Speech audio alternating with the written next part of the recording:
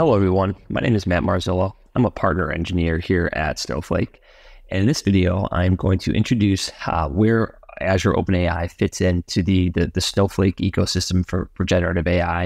And then also walk through a new quick start that we have that shows users out there how to get started with using Snowflake and Azure OpenAI, along with Azure ML and, uh, and Azure ML Workspace um, to kind of be the, the linchpin to, to connect both of those services.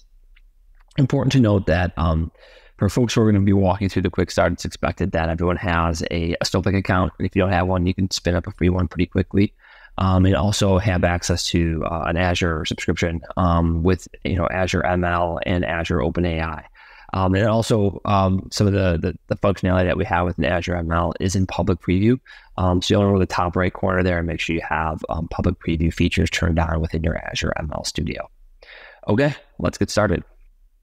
Okay, so looking broadly at Snowflake's approach to using generative AI and LLMs within our platform, you can see this architecture that we've been presenting over the course of the last several months or so. The idea being here is that you have your Snowflake data down there at the bottom of the architecture, and you have a number of different ways of utilizing generative AI with that data. So in the top right, you can see we're going to have LLM powered experiences. So some really cool functionality coming out related to document AI, text to code for Copilot, and search. And additionally, in that kind of middle big rectangle, you have the Snowpark container services functionality, right? So the ability to use native applications, open source LLMs, right within inside your Snowflake environment, inside of Snowpark container services. And these are experiences, both the, the, the top right LLM power experiences and Snowpark container services with LLMs these are services and functionality that are, are on their way in the next couple of months, right? So we're going to start seeing a lot of announcements around these being in preview, public preview, and in due time GA. But for now, right now, you know, the common pattern that we're seeing is using external LLMs or LLMs with our partners, such as Azure OpenAI. And there are a number of different patterns um, to, to use those external LLMs. So using native connections that we already have with Power Apps or with Azure ML that we're going to cover today, or using external functions or using Snowpark external access or using Streamlit. And in this video specifically, so we're going to talk about using Azure ML. Um, that said, there are a number of different ways um, to securely access those Azure OpenAI resources. And then looking at why Snowflake and Azure OpenAI, right? We have many joint customers that are already leveraging Snowflake. They love Snowflake's ease of use, security posture. We also understand that Azure OpenAI is really at the forefront right now. So um, we've made sure to, to kind of let our, our, our, joint customers know that this is certainly a supported pattern. Um, we have a number of different architectures out there that we published um, to, to support those use cases. And in this specific video, we're going to be talking about using um, Azure ML. But you can see here, you know, we have lots of audiences and joint customers that are using these tools for things like summarizing data, um, documents, yeah, building chatbots, information retrieval, and things like that. So let's go into the quick start now. So if we come here, come back up to the first step. Um, so this is inside Snowflake's quick start page. If you go to Snowflake quick starts, you'll see uh, getting started with Azure OpenAI for Snowflake quick start. And in this use case, we're going to be building out this architecture, right? So I'll zoom in a little bit. Um, what the architecture is doing is it's you know leveraging your Snowflake data and then registering a data set in uh, a Snowflake data as a data set in Azure ML with the native connector that we have, and then leveraging a Azure ML notebook that then utilizes prompt flow with Azure OpenAI to generate some results. So pretty straightforward, simple use case here. The idea being, let's just get folks kind of started and familiar with the mechanics of getting all this set up. The use case is a you know retail-ish use case, um, sort of next best offer. Um, you know, where we're going to simply kind of create a, a ten row table in Snowflake that has historical purchase information that also leverages data from Snowflake Marketplace um, that shows the mean age for the zip code for each of the customers and where the purchases were made. Um, so with that, we can go ahead and kind of like start actually building it out. So if I kind of zoom back out, you can see here we have these uh, these SQL scripts here that you can kind of copy and paste. You just highlight that and copy it, and bring it over to your your Snowflake instance and paste it in here. And all we're doing is creating a database, creating an extra small warehouse, And then with that database, we're creating this purchase history table that has three different columns here that have, or I say four. It has ID, recent purchases, zip code, and median age, right? So you can see here this person who lives in, you know, this zip code with a pretty young median age, you know, they purchased milk, bread, and eggs, right? You have somebody else who purchased, you know, pasta, tomato sauce, and some garlic. Looks like they're making an Italian dish. Another person here purchased chips, salsa, guacamole, tortillas.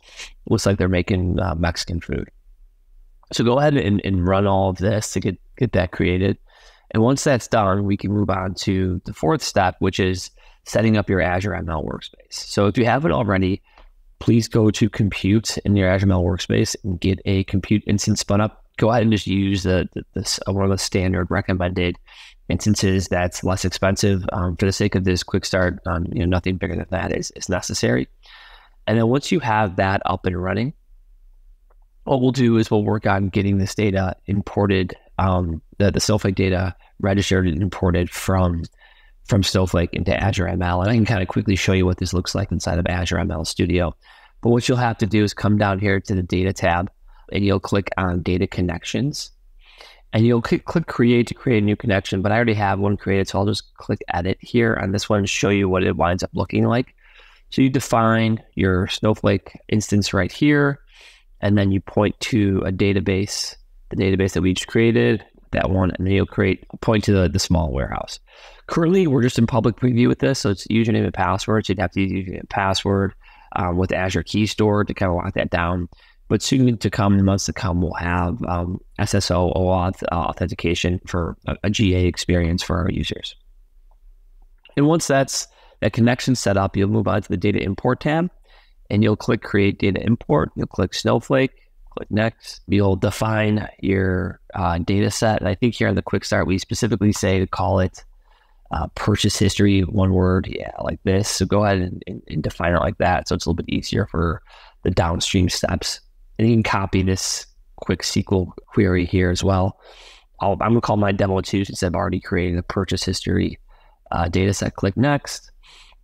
You're going to leverage that connection that you just created and then paste in the query, uh, no semicolon. Click next. I click on other data stores workplace blob store and click next. And then I'll, I'll select that top file uh, there to, to drop the data. And so what's happening with this connection, right, is that we're creating a job that registers the Snowflake data and imports it as an ML table inside of the, the, the blob storage associated with your, your Azure ML account. So this should take, you know, maybe, you know, 45 seconds or so to get that data registered. But while that's while that's running, um, we can, we can kind of go ahead and move on to step six, where we um, will deploy an Azure OpenAI model. And this is a very simple example, right? The point of this quick start isn't to go deep into the weeds of how to evaluate uh, Azure OpenAI models and how to select one, but rather just kind of quickly get one deployed and then use it with inside prompt flow with Snowflake data. So if you come inside your Azure, um, your portal, um, you can create a new Azure OpenAI service. And we detail kind of the simple steps of how to do that inside the quick start. But once you have that service um, up and running, you can click into it, click explore, and you'll come right here into Azure OpenAI Studio, right? And for this quick start, what we'll do is we're just going to use a simple foundational model. We'll use the, the GPT-3.5 Turbo here and kind of click that, click deploy, and then we're saying to go ahead and name it GPT-3.5 Turbo simply, right? So once that, that model is deployed, you'll see it right here um, and you can kind of see all the details associated with that with that deployment as well. Um, okay, so now that you have this this deployed, this should, should again take you know seconds to to, to get that Azure OpenAI deployed. Um, you should now have um, your model. Uh, I'm sorry, you should have the, the, data set should be registered, the model's deployed, and now we can kind of work on kind of the, the, the two big orchestration steps here associated with this quick start. So the first one we're going to work on is building out this prompt flow inside of Azure ML Studio. So the way that you do that, right, and, and I, let me kind of start with the end here in mind because it's kind of easier. What we're going to be left with in this ML prompt flow is a uh, LLM node here that's going to set up taking two different parameters, which are two different fields from our data set, purchase history and median age, and then passing them some sort of prompt to generate a result right? So the way that you'll you'll get started with that is going into Azure ML Studio, going into prompt flow, clicking create, and then clicking standard flow. And um, I'm I'm going to go ahead and kind of just click into the one that I've already created and show you what the finished product looks like. But what you'll have to do is in the, the quick start details, this is you'll have to delete several of the, the, the pre-existing nodes and you'll go ahead and copy and paste this this prompt up here into the LLM node right here. And what you're doing, right, is you're um, you're basically kind of creating that that prompt that's going to take in the parameters of purchase history and median age. Additionally, what you're going to have to do is when you create this LLM uh, node inside of Promptflow, you have to connect to your Azure OpenAI resource and then point to the model that we just deployed. Uh, make sure API is set to chat. You can leave temperature set at one. And then you're defining, you know, the the fact that you know purchase history is going to be uh, an input that's taken from inputs.purchase underscore history. Similarly with with median age, and then you'll you'll leave this out, output set as LLM underscore whatever the, the, the name of the prompt flow is that uh, the, the the node. I'm sorry, the node output is being passed to this output as well, which will be defined as output in the notebook that we create. So once you have that done, you'll save the prompt flow and you'll deploy it as well. And once that's done, we can kind of move on to um, developing our notebook. So what we'll do first here with this notebook is we have to clone over a, a repo, and it's this samples repo that we have in Snowflake underscore labs. So you kind of just copy and paste this code. You'll come over to notebooks. You can open up a terminal session right here and go ahead and copy and paste and run that, and you'll get a, a samples uh, folder as uh, as detailed in the quick start. Um, and then you come into OpenAI hyphen NB and open up your OpenAI dot IPy notebook. So while folks are doing that, the what we'll do here really quick is, is take a detour. We have to um, handle some manage identity access um, inside of the Azure portal. So what you'll do is you'll go back to the uh, Azure portal and you'll go to find your your Azure ML workspace service. And then um, you'll have to assign the role Azure ML data scientist and effectively, what you're doing is you're giving the prompt flow endpoint the appropriate role to interact with your Azure ML workspace, right? So you're going into the Azure ML workspace and then re, uh, assigning this role to that endpoint so that the, the interaction can happen.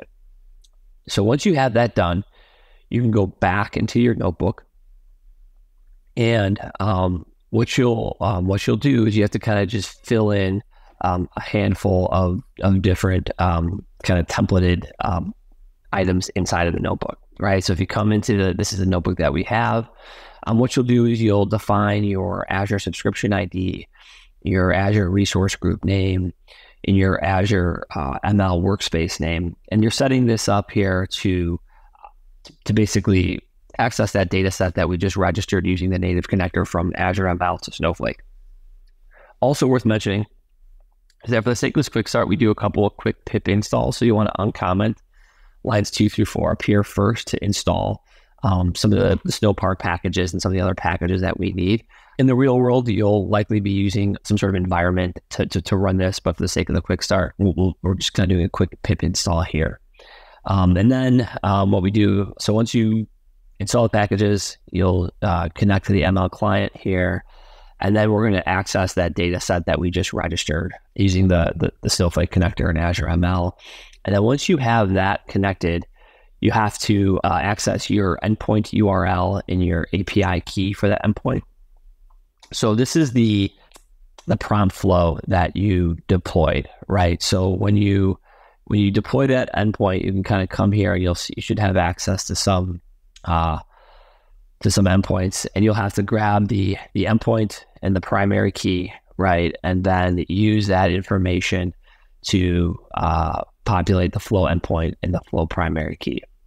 And then once you have that this this is sort of the star of the show right? What this what this block of code is doing is grabbing uh, the recent purchases field and the median age field and uh, passing them to that prompt flow which then utilizes those parameter information with the prompt and it generates a response from the Azure OpenAI model that we deployed.